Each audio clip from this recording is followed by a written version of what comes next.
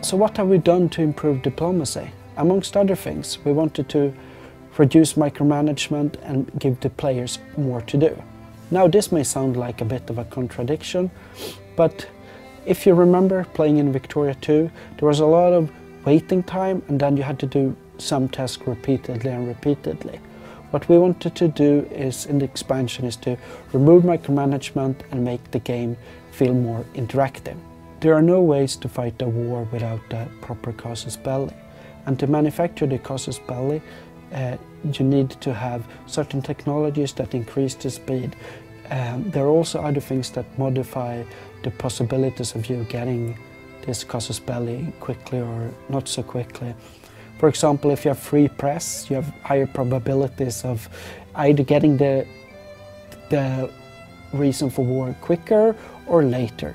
Because free press, you can't really trust them to do what the government wants, of course. You can always trust the press. So, just because you're manufacturing a, a reason to war does not mean that that's hidden. Everyone that has anywhere interest in you or knows about you may have a chance of discovering that you're manufacturing a CB.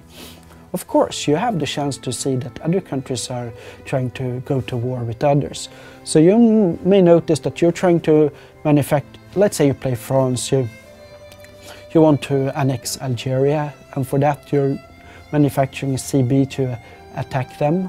And then you notice that Spain is doing the same, and then it becomes a race, and you can try to and there will be a conflict with Spain over these things. And all of this makes for a more intriguing, active gameplay when it comes to diplomacy. Also, we wanted to reduce micromanagement in diplomacy. Now we've talked quite a lot about adding features and stuff to do. So what have we done to reduce micromanagement?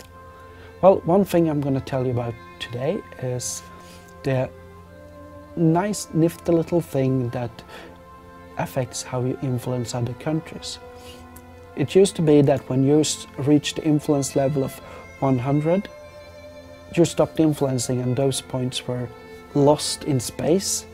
But now instead, if you're influencing and you reach your cap, the points that you're supposed to spend into that country are not longer spent increasing your influence, but decreasing other countries' influence.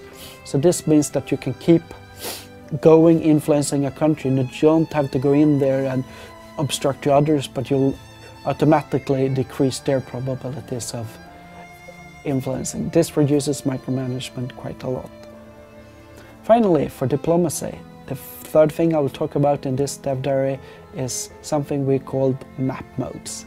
There will be a new map mode in Victoria 2 House Divided where you can see on the map where your sphere is, who belongs to your sphere, and also who belongs to other country spheres directly on the map, colored in those colors.